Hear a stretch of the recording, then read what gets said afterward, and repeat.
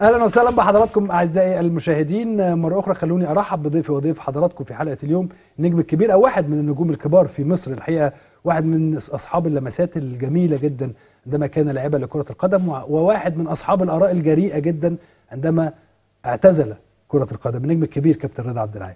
ازيك كابتن رضا؟ مشرفنا ومنورنا وسعيد جدا بتواجدك معايا. ربنا يخليك يا أسلام. أنا اللي سعيد جدا بيك والبرنامج المحترم بتاعك. ربنا يخليك يا كابتن. يعني معلش بقى إحنا يعني اتأخرنا عليك شوية بس خلينا ناخد بعض الأخبار مع حضرتك وإحنا بنتكلم. أحمد فتحي بيعتذر عن حضور حفل الفيفا بسبب نهائي أفريقيا. لو كانت اتعملت معاك كنت هتروح ولا كنت هتستنى؟